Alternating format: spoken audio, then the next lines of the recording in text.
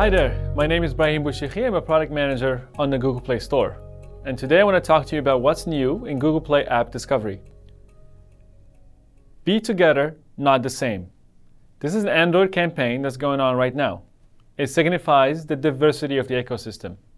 The fact our users stem from so many different countries, speak different languages, have different interests, use different devices, etc. And this particular diversity makes it both a challenge and an opportunity for us to build a great discovery experience. So I'm going to tell you a bit more about it today. But first, I want to quantify this diversity. We have over a billion users. They come from over 190 countries, speak 63 languages, and issue over 400 million unique search terms each month. Now think about that again. These are 400 million search terms, different interests, different queries, different needs, different questions the users are coming to the Play Store to find apps that could satisfy, that they could satisfy. So that's really exciting to us, and that just signifies, again, the diversity of the ecosystem. With an ecosystem this diverse, how do you enable organic discovery? We think of it in three buckets. First is enabling discovery through search. Search is one of the key ways that users discover apps on Google Play. Second is personalizing the browse experience. And finally, it's about enabling exploration, which is slightly different than personalization, as I'll get into later. So let's talk about search. Traditionally, search is a ranking problem. It's about getting the most relevant app at the top of the list. And over the past year, we've invested significant resources in making sure that Google Play Store search is incredibly relevant. But we also took a step back and thought about new ways to serve results on Google Play. And so we came up with this new experience where results, the organic results, are clustered around topics and concepts that are easily relatable to users. And this does two things. First, it helps users narrow their intent faster.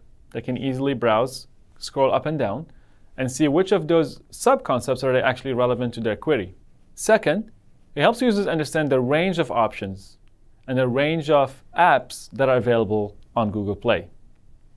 This experience obviously only works well for queries that are very broad, areas that you can actually break down into sub-concepts. So look for us to continue to invest in this and roll it out further. From our experiments, we've seen that this experience drives a greater total number of install from more unique apps and very importantly, by more unique developers. All really, really good things for our ecosystem.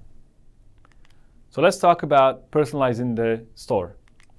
One of the insights we've had is that there is really no average user when you have an ecosystem like ours. When you have over a billion users and they issue 400 million search terms each month, you really don't have a prototypical user or interest you can design for. And in fact, if you build a product for the average, you'll most likely end up with a suboptimal experience. So we've invested a lot in making sure that the Play Store is relevant and highly personal to our users. We think of it as one user, one store. And so if you're a user interested in hiking and fitness, you may see this Play Store. If you're someone who's interested in learning new languages and photography, you may see this one. And most importantly, we've learned that personalization really drives an increase in installs, and in fact, doubles the likelihood that a user will install an app. This is intuitive. If you see something that's relevant to you, you're more likely to install it. But the magnitude of the improvement is what's really interesting here. So as you build your apps, your experiences, I'd recommend looking at personalization as a way to drive an increase in growth, just like we did here on the Play Store. Finally, let's touch on enabling exploration. Exploration is different than personalization. Exploration tries to be a bit more tangential. If you've installed a number of apps of this type, I'm going to give you a few apps that are slightly different. And that's what we're trying to grow and do more of on the Play Store. Broaden users' interests and help them explore more. Over the past year, we've launched the developer pages. These are home pages for developers on the Play Store. And what this does is if a user is browsing a developer's app details page, they will see a collection, a rich collection, that when they click on, they go to this home page. In here, they see a featured app by the developer, then they see all of their apps that can then navigate to one of those apps, discover a similar app, and so on. This continuous cycle of discovery and browsing and, and pivots is really healthy for the product and enables exploration we wanted to invest in more. Next is Google Play for families, which we also launched this year. Families are an important segment for Google Play, and offering them a discovery experience that helps them find apps is really, really important to us. One of the neat experiences we've built is this character picker.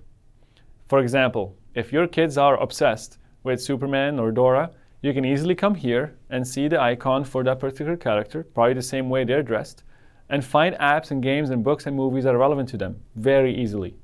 This is a really fun discovery experience for parents. Finally, look for us to invest more in context based discovery.